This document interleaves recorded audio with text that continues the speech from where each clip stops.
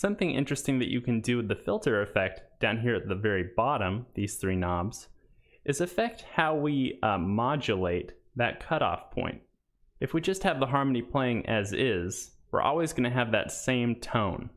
If we modulate that cutoff point or move it over time, uh, we're going to get a lot more variety in tone, uh, and it might be the thing you're looking for. So if you're wanting it to be less static, uh, definitely listen up here.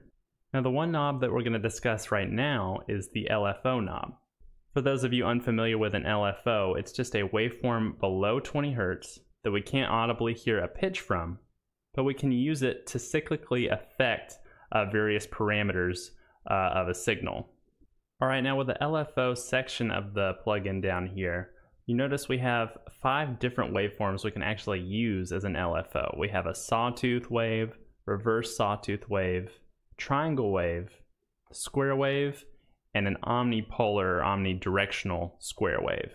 And each of those are going to have a different cyclical effect uh, as you're using it to modulate certain parameters. So if we go back to the filter and we want to modulate it, this actually sets the intensity of the modulation. So how much uh, back and forth you're getting with that cutoff point.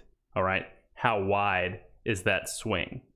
Let's set it at about 50. Okay, that'll kind of give us a good idea of how these different waveforms are affecting our sound. I'm going to play the harmony and switch between all five of these just so you can kind of hear the differences and then we'll talk about when you might use them in different situations.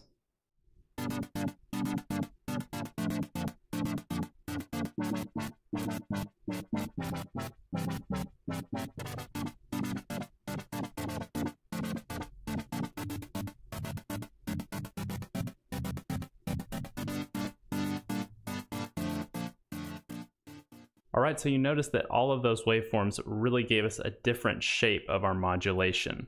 Okay, so with our sawtooth waves, we noticed kind of a shake in that modulation and then it quickly reduced down.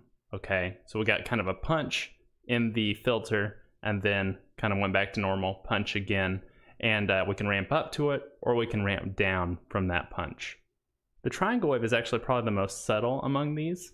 So this is something if you don't want it to really have a punch on the filter at all, and you don't really want it to cut in and out very much, you want it to just be very subtle and cyclical.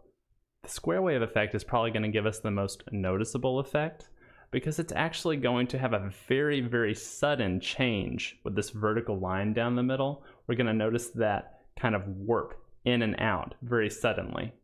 And the omnipolar wave is going to have a similar effect, but it's never going to reach uh, to the bottom of the waveform. So it's never going to completely and suddenly cut us off, but it is going to be a very cut and dry separation. Some other things that you want to consider in the LFO portion of this plugin uh, would be the sync knob down here at the bottom. The sync knob uh, can be turned on or off. If it's off, your rate of modulation, so the rate at which that waveform is moving, uh, is going to be set at a hertz value. Okay, now a hertz value, one hertz is just one cycle per second, if you want to think about it that way. Now if you turn the sync knob on, it's actually going to change that rate to a division value, okay? So a note value for whatever your project settings are set at. So I'm set at uh, 120 beats per minute, uh, and the sync knob turned this value into 1 16th note, okay? So uh, that actually very cleanly matches your rhythm if you're wanting it to not muddy up uh, your rhythm at all. Finally, there's a slider over here at the right of the LFO graph. Uh, and this is kind of affecting uh, right now, actually, what our modulation wheel is going to do for our LFO. So if you're hooked up through a synth controller, if you have this slider all the way up at the top, your modulation wheel will have to go uh, to an upward position for this LFO to take place. Uh, since I don't have my synth controller hooked up right now, uh, I would not be modulating at all. So I actually have to set it down to zero for this to take effect. You can also set this to aftertouch. So that's uh, after you press down the keys on your MIDI controller. If you push down even harder without letting up, then that can actually activate this LFO and you can set it to react to the mod wheel and aftertouch. All right, so that's gonna be the end of the filter portion of this plugin for now, uh, for the sake of this tutorial.